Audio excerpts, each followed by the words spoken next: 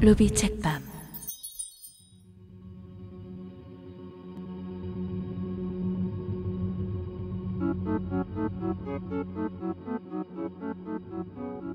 이 이상한 손님 1 글쎄 이 일을 어떡하누? 노인은 역시 안절부절한다. 글쎄 무슨 일이세요? 돌아가신 영감님이 사러 오셨습니까? 영우는 노인의 허둥대기만 하고 말을 못하는 것이 우스워서 슬쩍 농을 한 것이다. 원 백서방도 영감이 사러 왔으면 아이고 그놈의 영감이 아이고 그놈의 영감 때문에 내가 이 고생이야. 영감만 그렇게 일찍 아니 죽었으면 내가 왜 이런 고생을 다 하오? 아, 글쎄 무슨 일이에요? 돌아가신 영감님이 사러 오신 것도 아니고 그러면 마나님이 옥동자를 해산하셨습니까? 아이고 망치게라. 허기야. 늙은이가 영감 없이도 옥동자는 말고 눈먼 딸년이라도 하나 낳을 수 있다면 찾기 좋겠수만. 글쎄 백서방, 이것 좀 보구려. 내가 자식이 있수, 가까운 일가가 있수. 답답하니까 이렇게 찾아와서 일 의논을 하는구려. 그러시고 말고요. 무슨 일이세요? 글쎄 그 이가 그저께 저녁에 나간 채 이내 소식이 없구려. 그 일 아니요? 우리 집에 있는 손님 말이야. 그래. 그이가 밥값을 아니 내었어요? 아니야. 밥값을 한 달치를 선금 냈는데 보름밖에 아니 먹은 걸. 그러면 되려 잘 됐군요. 그래도 그래서 쓰나? 그런데 그이가 아무래도 무슨 변을 당한 것만 같구려. 대관절 누구야요? 그이라는 사람이. 노인은 비로소 안정하여 이야기를 시작하였다. 영우는 큰 사건을 앞에 놓고 대수롭지 않은 일에 참견하기가 속으로 짜기는 하였으나 할 수 없는 사정이라 귀를 기울이지 아니할 수가 없이 되었다. 이 노인이 익선동에서 염집 하숙을 하고 있는 것은 영호가 그 집에 있었던 관계로 잘 아는 것이고 지금부터 보름 전에 노인의 집에 웬 점잖게 생긴 양복 입은 사람이 찾아와서 하숙할 방이 있는가 물었다. 뜰 아래로 두 개 있는 방은 다 손님이 들어있고 행랑방과 건넌방이 비어있기 때문에 노인은 반겨 그를 두기로 하였다. 손님은 40좀 넘어 보이고 가지고 오는 금침이나 짐으로 보아 별로 군색한 사람인 듯 싶지는 아니하였다. 밥값은 독방에 20원을 받는데 그는 특별히 5원씩 더 내겠다고 자청하고 선금 25원을 이사해오는 그 자리에서 치르었다. 이만하면 밥을 싸질머지고 다니면서 찾아도 구하기 어려운 고마운 손님이다. 그러나 그러한 반면에 좀 이상한 것을 아는 병통이 있었다. 그는 밥상은 의리의 문 앞에 가져다 놓게 하고 그것을 손수 들어 들여다가 먹지 결코 사람을 방 안에 들이지 아니하였다. 그와 같이 방에 남을 들이지도 아니할 뿐 아니라 밖에 다른 방 손님이 있다든지 혹은 누가 와서 있으면 결코 나오는 일이 없었다. 하는 일이라고는 아무것도 없었다. 나출입은 꼭 한 번밖에 한 일이 없었다. 낮에는 기침 소리 하나 크게 내지 아니하고 조용히 들어앉아 여러 가지 가져오는 신문이나 보고 신문 보는 것도 누가 눈으로 본 것이 아니고 바스락거리는 소리가 들리므로 저녁을 먹고 나서는 바깥이 어둑어둑해지면 가만히 문을 열고 방에 들여놓았던 구두를 들고 나와서 역시 소리 없이 신고 밖으로 나갔다가 자정이 가까워서 돌아오곤 하였다. 편지 같은 것 한 번도 온 적이 없고 찾아오는 사람도 없었다. 사람이 찾아오기는 고사하고 그는 주인에게 누가 혹시 찾아와서 찾더라고 없다고 따라시라는 부탁을 해두었다. 성명도 되어주지 아니하였다. 그러니까 주인에서는 그저 건넌방 손님이라고 불렀을 뿐이다. 그런데 한 가지 더욱이 이상한 것은 그가 밤에 나갈 때마다 없던 수염이 수북이 나는 것이었었다. 낮에 보면 위아래 턱과 볼이 말쑥한데 밤에 나갈 때면 아주 탐스러운 구레나룻이 수북이 난 것이 언뜻 몰라보게 의수하였다. 그리하여 돈을 그렇게 많이 내고 조용해서 좋기는 좋으나 어쩐지 좀 섬뜩한 생각이 들던 판인데 그가 언제 한일 주일 되어서 이상한 일이 생기었다. 2. 마나님은 냉수를 청하여 벌컥벌컥 들이마신 뒤에 다시 이야기를 계속한다. 그날 밤 이슥한 뒤에 돌아온 건넌방 손님은 방으로 들어가더니 무엇라고 투덜거리며 다시 마루로 나와 주인을 찾았다. 마나님이 나가보니까 상을 무섭게 해가지고 누가 내 방에 몰래 들어왔었어? 하며 금시 사람을 잡아먹을 듯이 별렀다. 그러나 그것은 생트집인 것이 그는 나갈 때면 앞문은 겉문을 닫아 안으로 걸고 샘문에는 커다란 자물쇠를 잠그기 때문에 아무도 들어가고 싶어야 들어갈 수가 없었다.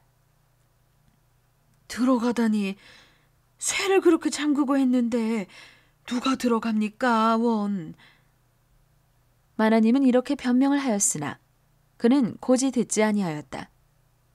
아니요. 누가 분명 곁쇠질을 하고 들어왔어요. 내가 나간 뒤에 잠갔습니까? 네. 저녁 먹고 나서 깜빡 잠이 들었었어요. 그래. 그동안에 어느 놈이 곁쇠질을 하고 들어왔어요. 아니, 그럼 무엇 없어진 것이 있습니까? 없어진 것은 없지만, 아이고, 그러면 다행이지요. 나는 가슴이 성큼했어. 흥, 암만 그래도 못생겼다. 내가 그걸 함부로 두고 다닐까 봐? 이렇게 혼잣말로 중얼거리고는 그는 도로 방으로 들어갔다. 여기까지 듣고 있던 영호는 갑자기 흥미가 바짝 났다. 그는 그 손님이라는 것이 해외에서 들어온 XXX 계통의 인물로 그와 같이 은신을 하고 있다가 경찰서에 검거된 것이려니 생각했던 것이다. 그러나 그의 방에 몰래 들어온 사람이 있다는 둥. 또 그가 혼자 중얼거리더란 그 말이 필시 사상관계와는 딴이로 그럼직한 비밀을 담뿍 가진 듯 싶었다. 그리하여 그는 마나님의 말허리를 잘라 물었다. 지금 집에는 그 건넌방 손님하고 또 누구누구 있어요? 손님? 뭐, 뜰 아래방에는 두 방에 다 그전 있던 손님이고, 백서방도 알지? 은행에 다니는 김주사하고 또 대학교 다니는 학생하고. 네. 그이들은 나도 같이 있었으니깐. 그러고 문간방에 온 지 한 열흘 되는 젊은이 하나가 있고. 새로 왔어요? 응. 뭘 하는 사람인데? 모르지. 시골뜨기야. 아주 반편스럽디 반편스럽게 생긴 걸. 뭐 서울 구경을 왔다나? 절 아닌 서울 구경은 웬 거야? 그러니까 반편이라지. 아, 그나마 지금은 떠나고 없어요. 나이 몇 살이나 되어 보이죠? 그저 한 30 되었을까? 백서방보담 좀 더 먹어 보이더구먼. 사람이 반편스럽게 생겨서 나이도 잘 모르겠어. 시골은 어느 시골이라고 그래요? 몰라. 누구 찾아오는 사람도 없었어요? 없지. 그 사람도 그저 방에 꾹 백혀 앉았어요? 응. 서울 구경 왔다면서. 응. 그래 내가 왜 구경도 아니 하느냐니까 그 대답이 멋지지. 길에 나갔다가 집을 잃어버릴까봐 못 나간다고. 떠나기는 언제 떠났어요? 그게 글쎄 바로 야단이 나던 날이야. 그러니까 건넌방에 누가 들어갔다고 투덜거리던 그, 그 이튿날 저녁이로군. 건넌방 손님을 그 뒤는 나가지 않고 밤에나 낮에나 들백혀 있고. 헌데 그 시골뜨기가 저녁을 먹고 나더니 갑자기 떠나겠다고 그리겠지. 그래 내가 행랑방에 나가서 같이 밥값 회계를 했다우. 밥값 회계를 하는데 이 원수가 어떻게 둔한지 한 시간은 더 싸웠을 거야. 그래 회계하다가 말고 저도 진력이 났든지 뒷간에 잠깐 다녀온다고 나가서 뒷간에서 캑캑하는 소리가 나두군. 그런데 갑자기 안에서 불이야 하고 한잠 자기가 외치겠죠. 아이고 어떻게 놀랐던지. 그냥 버선발로 뛰어나가니까 마루로 연기가 하나가득이야. 3. 마나님은 미친 듯이 불이야 소리와 한 가지로 날뛰면서 그래도 부엌으로 뛰어들어가 바가지에 물을 떠가지고 나와 끼얹었다. 안짬자기 어멈은 처음에는 벌벌 떨고 서서 어쩔 줄을 모르다가 겨우 주인 마나님의 본을 받아 바가지로 물을 퍼다 끼얹었다. 행랑방에 들었던 시골뜨기는 변소에서 뛰어나와 괴춤을 잡은 채 엉거주춤하고 어쩔 줄을 모른다. 뜰 아랫방 두 방에는 마침 다 나가고 아무도 없었다. 불이야 소리에 이웃집에서와 지나가던 사람이 뛰어들어왔다. 그런데 이상한 것은 마루에 연기만 그같이 가득 차 있지 아무 데서도 불길은 보이지 아니하는 것이다. 한참을 서두르는 동안에 연기가 헤어지고 그 자리에는 아무것도 없이 씻은 듯이 깨끗해졌다. 사람들은 마치 도깨비에게 홀린 듯이 멍하니 서서 있었다. 불이 아니었고 이같이 무사하게 되매 비로소 정신을 차린 마나님은 건넌방 손님이 어디로 갔나 하고 둘러보았으나 아무데도 그는 보이지 아니하였다. 웬일인가 하고 마루를 올라가서 건넌방 문을 열어보려고 막 문에 손을 대는데 뒤우란으로 난 마루의 판자문을 와락 열면서 누구야? 소리를 버럭 지르고 나서는 것이 그였었다. 그의 소리에도 놀랐거니와 마나님이 더욱 놀란 것은 그의 얼굴이다. 그의 얼굴은 금시에 사람을 잡아먹을 듯이 흉악하고 사납게 생겼었다. 마나님은 입대까지 그의 그와 같은 얼굴은 생각지도 못하였었다. 항용 보면 그다지 상냥한 얼굴은 아니라도 그렇게 무서운 얼굴도 아니었었다. 마나님은 즐겁하여 잡았던 문끈을 놓고 물러섰다. 아니랍니다. 야단통에 보이시지 않길래 나는 웬일이신가 하고 그랬지요. 그는 비로소 얼굴을 그 무섭게 생겼던 얼굴을 고쳐가지고 마루로 들어서며 자기가 그와 같이 군 것이 미안한 듯이 변명을 한다. 아니에요. 나도 놀래서 놀래서 겁결해. 그런데 거 웬 연기입니까? 나도 모르지요. 거웬 연기랍니까?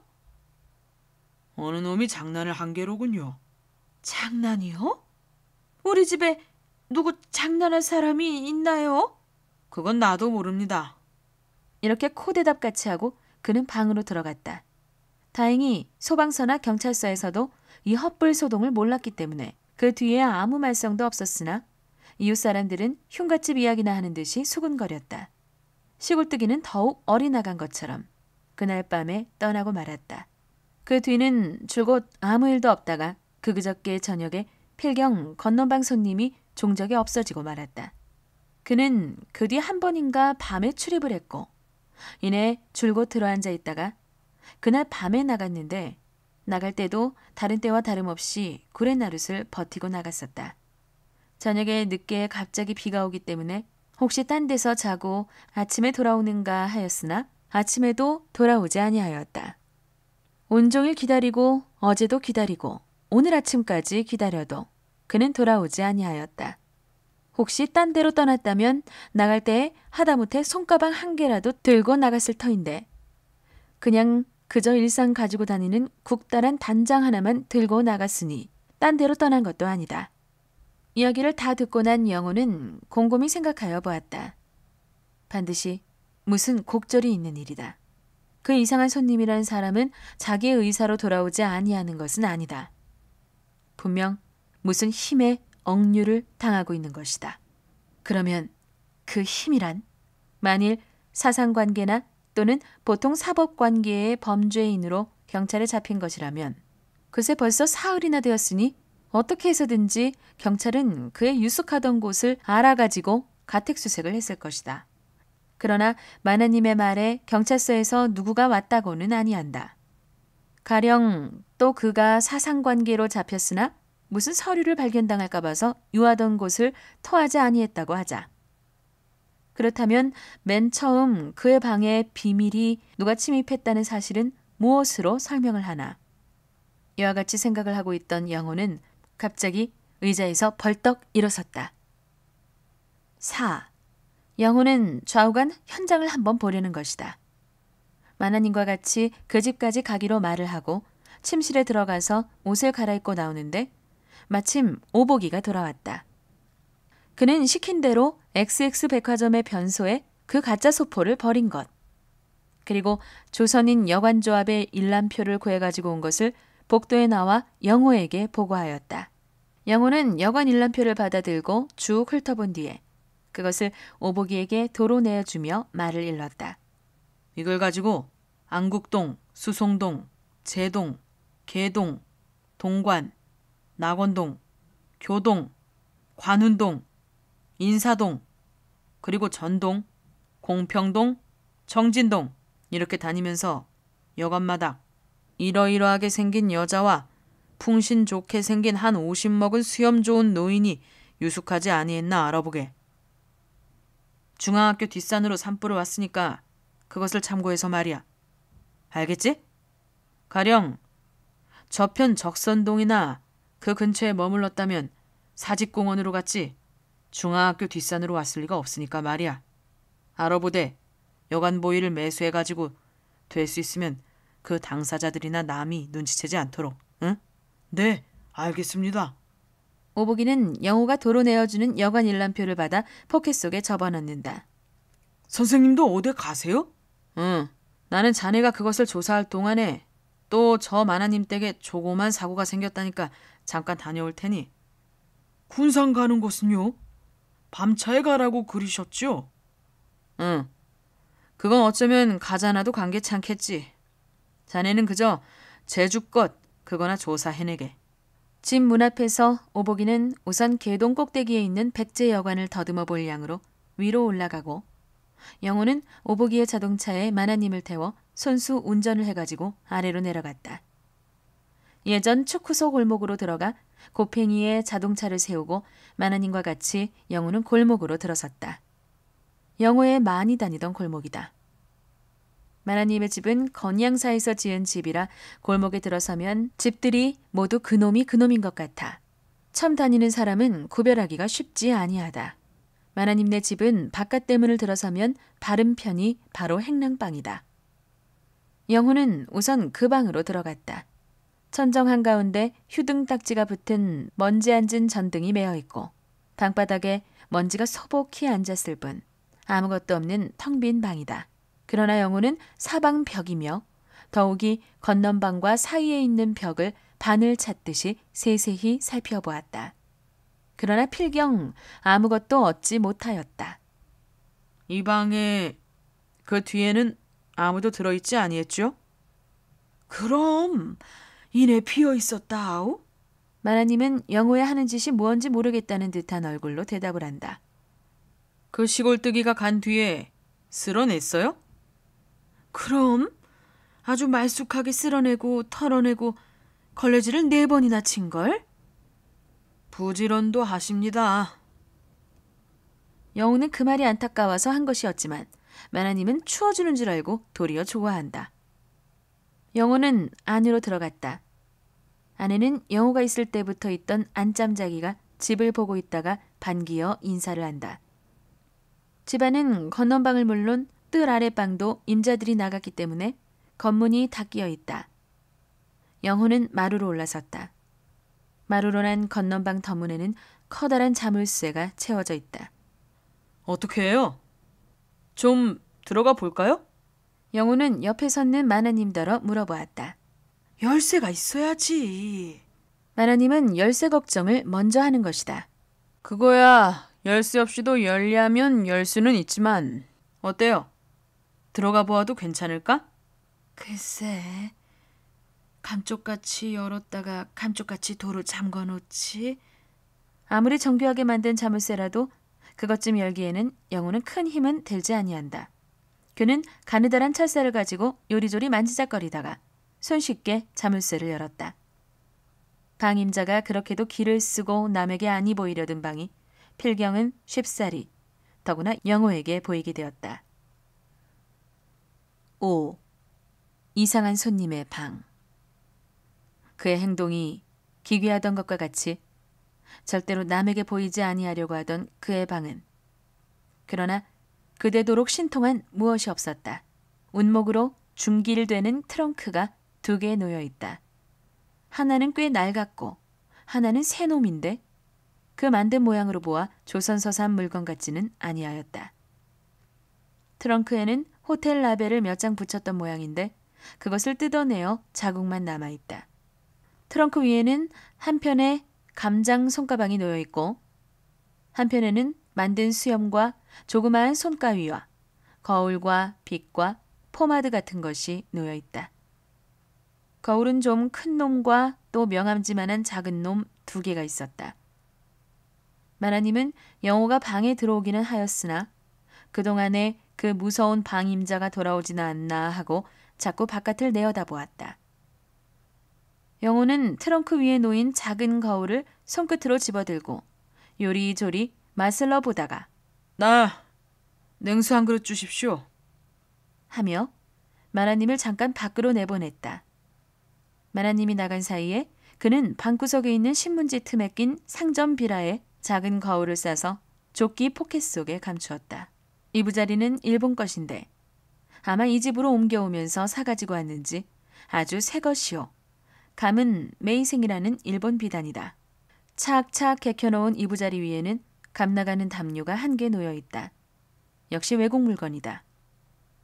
벽에는 삼동에 입는 수달피로 대고 안은 솜으로 누벼 넣은 외투가 하나 걸려 있다. 낡은 넥타이도 두어 개 걸려 있다. 그 밖에는 아무것도 주의를 끄는 것이 없었다. 영우는 잠시 망설이다가 손가방을 열어보았다. 그러나 그 속에는 봉암 엽서가 두 장 들어있을 뿐 아무것도 없었다. 다시 트렁크를 열어보았다.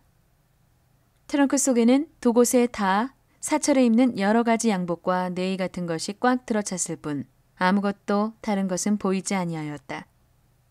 영호는 그 양복들을 일일이 집어들고 안을 들추어 보았다. 혹시 성명이 새겨져 있을까 하는 것이다. 그러나 한 군데도 그러한 것은 없고 또 포켓도 일일이 뒤져보았으나 종이 조각이라고는 나오지 아니하였다. 그러나 밑에 트렁크 맨 밑창에는 큰 하도롱 봉투에 손이 베이질 듯한 10원짜리 조선 은행권이 50장 들어 있었다. 영호는 트렁크를 전대로 해놓고 일어섰다. 담배를 피우지 아니하는지 방 안에는 잿더리도 없다. 툇마루로 난 밀창에는 유리가 한 조각 붙어 있고 그 유리를 통하여 엷은 커튼이 치어 있는 것을 영호는 문득 보았다. 영호는 밀창을 열었다. 걸어 잠근 덧문과 밀창 사이에는 여름에나 쓰는 하늘하늘한 커튼이 치어 있는 것이다. 커튼이면 아직 날이 추우니 하다못해 광당목 같은 것을 썼을 것이요. 또 밀창 안에 쳤을 것인데 아무 방안도 되지 아니하는 것을 더구나 밀창과 건문 사이에 쳐놓다니. 그것이 영호에게는 이 방에 들어와 본 가운데 제일 주의를 끄는 것이다. 이건 누가 해서 친 겁니까? 영호는 마나님더러 물어보았다. 그이가 끊어다가 내가 갓을 해서 친 거라오. 밀창을 오려내고 유리를 붙이더니 그날 저녁에 나가서 그 감을 끊어왔어. 영호는 고개를 끄덕거렸다. 낮에는 건문을 열어놓는데 그러면 유리로 해서 방안이 굽어다 보일 테니까 그것을 막느라고 그리한 것이다. 그 커튼이 방 안에서는 바깥을 내어다 볼 수가 있되 밖에서는 들여다 보이지 아니하게 된 것이다. 영호는 무심코 커튼을 들춰보는데 왼편, 밖에서는 대문에서 들어오는 편, 네, 한 귀퉁이가 몽창 잘린 것을 발견하였다. 이건 왜 이랬어요? 마나님도 처음 보는 모양이다. 글쎄, 누가 그걸 그렇게 잘라냈을까? 내가 갓을 할 때는 그렇지 않았는데. 이방 손님이 자르지 않았어요? 아니, 그이가 왜? 미상불 그렇다. 방임자가 그것을 잘라낼 일이 없는 것이다. 그렇다면 분명 누가 아무도 몰래 그것을 잘라간 것이다. 무슨 필요로? 영호는 생각함이 있는지 혼자서 고개를 여러 번 끄덕거렸다. 6. 마나님에게 말할 나이도 없이 영호는 트렁크 위에 있는 손가위를 집어다가 커튼을 그 베어낸 자국에서 다시 한 조각 빼어 포켓 속에 집어넣었다. 이제는 이 방 안에 더 있을 필요가 없는 것이다. 전과 같이 문을 닫고 잠그고 마루로 나왔다. 뭐 좀 어떻게 알아보았소? 마나님은 걱정스럽게 영호더러 묻는다. 글쎄요. 가만 계십시오. 이제 정말 좀 알아보아야 하겠습니다. 내가 알아볼 대로 알아보고 이제 또 오겠습니다. 영호는 벌써 구두를 신고 대뜰에 나섰다. 그런데 참 이 근처에 빈집 없어요? 빈집? 글쎄, 없지 아마? 그러면 요새 새로 이사해온 집은? 응, 있어, 있어. 아따, 우리 집에서 저 앞으로 두 채 집 건너 그 집이 비었었는데 며칠 전에 사람이 들었다지? 누가 들었는지 모르세요? 모르지. 아마 식구가 단촐한 지 짝소리도 없더구먼. 그래도 이사해 왔으니까 솥도 붙이고 도배도 하느라고 사람이 드나들었을 텐데. 그건 몰라. 저 어멈? 하고 마나님은 어멈에게 물어본다.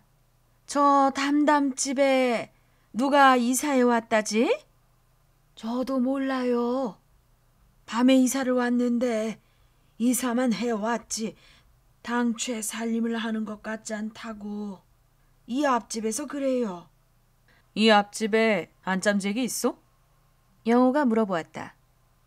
네, 좀 데려오구려. 데려오지요. 나하고 잘 아는데요. 조금 후에 앞집 안짬자기가 이 집 안짬자기를 따라왔다. 전에 영호가 이 집에 있을 때 가끔 마을 와서 영호와 얼굴이 익은 노파다. 안녕하시오? 영호는 우선 이렇게 수작을 붙였다. 네, 안녕하십니까? 오랜만에 오셨어요. 네. 그런데 내 좀 물어볼 말이 있는데 당신의 그 앞집 말이오. 언제 이사해 왔어? 네, 안녕하십니까? 오랜만에 오셨어요. 노파는 까막까막 생각하다가 한 대세 되나 봐요. 음, 닷새. 식구는? 사내 양반이 젊은이하고 노인하고 둘이고 젊은 아낙네하고 셋인가 봐요. 누구 그 집에 가본 사람 없답디까? 없어요. 이사를 해왔으면 솥도 걸고 도배도 하고 하느라고 동리서 드나들었을 텐데 통 그런 게 없어요. 물찌개 장수도 안 다니는데요. 영호는 고개를 끄덕거렸다. 밤에 이사해 왔죠? 네. 그런데 첫 며칠은 사람 소리도 들리고 하더니 요새는 낮이면 문에다 강아지만한 자물쇠를 잠궈 놓고 짝소리가 없어요. 영호는 마나님과 작별하고 다스에 이사해 왔다는 집 앞으로 가보았다. 대문에는 앞집 노파의 말 맞다나 강아지만한 자물쇠가 채워 있다. 번지만 붙어 있고 문패도 없다. 집이 생김새는 마나님네 집과는 조금도 틀림이 없다. 대문이 있고 대문 안에 바른 편으로 행랑방이 있고 왼편으로 뜰 아래 방이 두 개 있고 그리고 벌어진 대문 틈으로 굽어다 보니 좁다란 마당 앞에 장독대가 있고 영호는 곁쇠질을 하고라도 좀 들어가 보고 싶었으나 안에 사람이 현재 없는 것은 확실하지만 지나가는 사람의 눈을 꺼리어 발길을 돌이켰다. 그는 그 길로 그 집을 관리하는 사람을 알아가지고 찾아가서 물어보았다. 한 30된 흡수룩한 사람이 25원씩 석 달 선세를 내고 새로 얻었으나 그 밖에는 그의 가족이 어떠한지 모르겠다. 는 것이 그의 대답이다. 영호는 그 사내의 인상을 일일이 물어보았으나 마나님네 집 행랑에 들었던 시골뜨기와는 같지도 아니하였다. 그는 할 수 없이 자동차를 몰아 집으로 올라갔다. 오복이는 아직 돌아오지 아니하였다. 그는 마나님네 집 건넌방에서 집어 가지고 온 거울을 가지고 실험실로 들어갔다. 거기에는 아주 선명한 지문이 박혀 있다. 이 거울에 나타난 지문과 아까 소포에 싼 지문이 옆에 놓인 것을 무심히 집어들고 비교해 보다가 영호는 갑자기 눈을 크게 흡떴다. 그는 급히 확대경으로 두 개의 지문을 자세히 비교하여 보았다. 7. 가짜 소포 속에 들었던 손가락 토막의 지문과 그 이상한 손님의 작은 거울에 남아있는 지문. 그 두 개의 지문은 완전히 일치하였다. 이것은 즉 잘린 그 손가락이 이상한 손님의 것이라는 것을 증명하는 것이다. 영호는 꿈에도 생각지 못한 사실이다. 두 사건의 일치. 손가락 토막을 싼 가짜 소포 사건과 마나님네 건넌방의 이상한 손님의 실종 사건의 일치. 이것은 영호에게 기쁜 발견일 것이다. 그러나 그는 우울하여졌다. 이 기괴한 범죄의 이면에는 그 여자가 가령 장본인이 아니라 하더라도 큰 관계를 가지고 있다는 것은 불을 보는 것과 같이 명확한 사실이다. 영호는 머리를 우디고 앉아서 신음하듯이 혼자 중얼거리는 것이다. 그가 그 여자가 이 기괴한 범죄의 이면에 서서 있다니. 영호는 자기가 홀로 그와 같이 연연히 생각하는 그 여자인지라 차라리 이 사건에서 손을 떼어 그 여자의 무서운 정체가 폭로됨으로써 받는 타격을 피할까도 생각하여 보았다. 다만 언제까지든지 그의 환영을 가슴에 품고 연연히 그리워하면서 지내면 그것이 되레 마음 편할 듯 하였다. 그러나 그것은 저 가슴 속에 잠겨 있는 로맨틱한 생각이요. 일이 이처럼 되어 갈수록 그 여자의 정체를 알아내 보겠다는 욕망은 한층 더 불타올랐다. 영호는 오복이가 돌아오거든 기다리게 하라고 서생 상준이에게 부탁을 하여 두고 다시 집을 뛰어나섰다. 문 앞에 놓아둔 자동차를 몰고 갈까 하였으나 그대로 걸어 내려갔다. 영호가 마나님네 집 건넌방에 커튼 한 귀퉁이가 잘려 없어진 것을 보고 첩경 생각한 것은 방의 트릭이라는 것이었었다. 즉, 그 이상한 손님을 꿰어들이기 위하여 문간이 같은 집을 구하고 또 방도 그가 거처하고 있는 것과 같이 외양을 꾸미자면 우선 문에 치여 있는 커튼을 장만하여야 할 것이다. 그래서 그와 꼭 같은 감을 얻으려고 누가 몰래 들어와서 한 귀퉁이를 잘라간 것이다. 그러나 그것은 저편이 미처 생각을 못한 것이다. 이상한 손님이 밖에 나갈 때면 반드시 건문을 닫아 걸므로 커튼 같은 것은 있으나 없으나 문제가 되지 아니하는 것이다. 말하자면 커튼을 한 조각 훔치고 그것을 견본 삼아 꼭 같은 감을 끊으려고 애를 쓰기는 하였으나 가령 그것을 구했다 하더라도 그것은 헛수고이었을 것이다. 집은 물론 마나님네 집에서 두 채의 집 건너 있는 그 집 일시 분명할 것이니 저녁에 조용히 가서 다시 한번 조사해 보기로 하고 영호는 우선 아까 잘라놓은 커튼 조각을 가지고 포목점을 뒤져볼 양으로 나선 것이다. 그 커튼감을 구해다가 그들이 유리하게 썼거나 아니 썼거나 그것은 관계없고 다만 구하러 다니던 사람을 알아내자는 것이다. 영호는 저동으로 내려가면서 XXXX 상회, XX 백화점, XX 상회, XXX 상회를 다 들러 물어보고 또 그러한 감을 찾던 사람이 있더냐고 물어보았으나 다 실패를 하고 X상회에 당도하였다. X상회의 점원은 영호가 보이는 커튼 조각을 받아들고 조금 남았었는데 다 나갔습니다. 하며 잠옷 이상하다는 듯이 영호를 훑어본다. 영호는 되었구나 속으로 생각하였다. 많이들 끊어갑니까? 별로 많이는 끊어가지 않지만 며칠 전에도 어느 여자 손님이 와서 마지막 남은 커튼 한 감을 가져가셨습니다. 여자 손님이요? 영호는 어느 정도까지 기대한 말이 아닌 것도 아니나 무의식 중에 이렇게 반문을 하였다. 점원은 더욱 유심히 영호를 바라보다가 우선 태도를 보드랍게 고쳐가지고 아마 형사로 알았던 모양이다. 네, 여자 손님입니다. 어떻게 생겼어요? 영호는 점원이 자기를 형사로 여기는 눈치를 알고 그것을 이용하여 바로 대고 물어보았다. 8. 점원은 기억을 더듬느라고 고개를 쳐들고 눈을 까막까막 하는 것을 영호가 말을 시작하였다.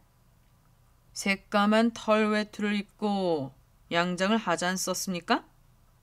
감장 모자를 쓰고. 네, 네. 점원은 비로소 생각이 나서 대답을 하는 것이다. 옳습니다. 그러고 키가 호리호리하고요. 그러고 얼굴이 갸롬하고. 네, 옳습니다. 그러고 썩 잘났어요. 그래서 돌아간 뒤에 우리끼리 이야기까지 했습니다. 점원은 좀 개면적은 듯이 싱긋 웃는다.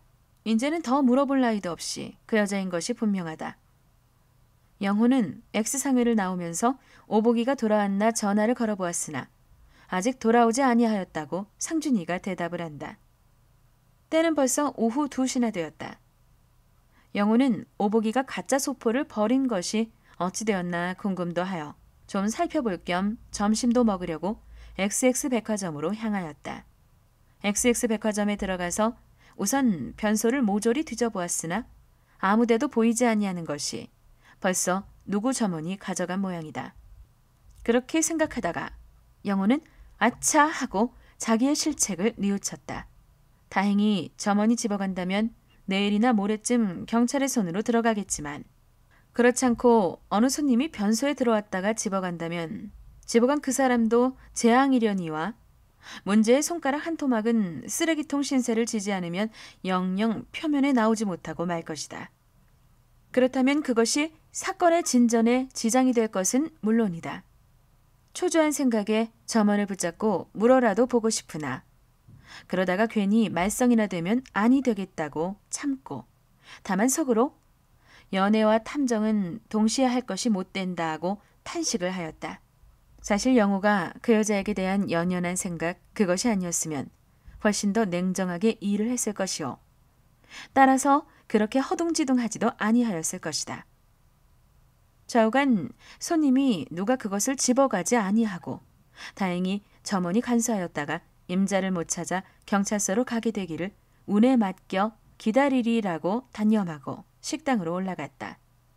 영호는 점심을 먹으면서 이후의 작전 계획을 세웠다.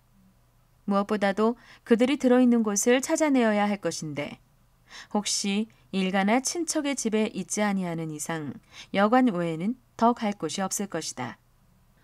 더구나 그들 일행이 출입컨대 노인과 그 여자와 마나님네 행랑방에서 유숙했다는 그 시골뜨기 같다는 사나이와 또 새집을 얻으려 왔더라는 헙수룩하게 생겼다는 사나이까지 합하면 넷이나 될 것이니 아무리 하여도 어느 여관에 묵고 있기가 십상팔구일 것이다. 익선동에 새로 얻어든 그 집에는 그들이 거처하지 아니하는 것이 분명한 것은 솥도 걸지 아니하고 물도 받지 아니한다는 것으로 보아 알 수가 있는 것이다. 사실 그 집은 이상한 손님을 유인하겠다는 목적을 도달하였으니 벌써 비어내던진지도 모르는 것이다.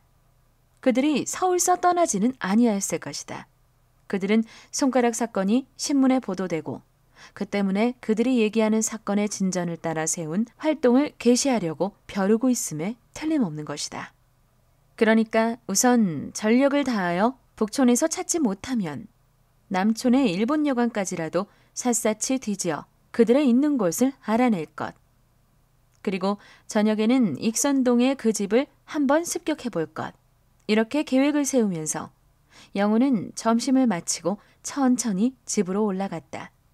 그는 길에서 오고 가는 사람을 남녀노소 물러나고 일일이 주의하여 보았다. 행여 그 중에 문제의 남녀 네 사람의 하나라도 눈에 띄지나 아니할까 하고 상당히 시간이 걸리리라고 생각하면서도 곧 돌아왔으면 하는 오보기가 과연 일찍 돌아와 기다리고 있다. 어쨌나?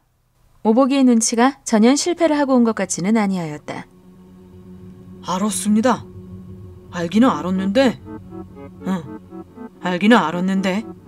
영호는 성급히 다가 물었다.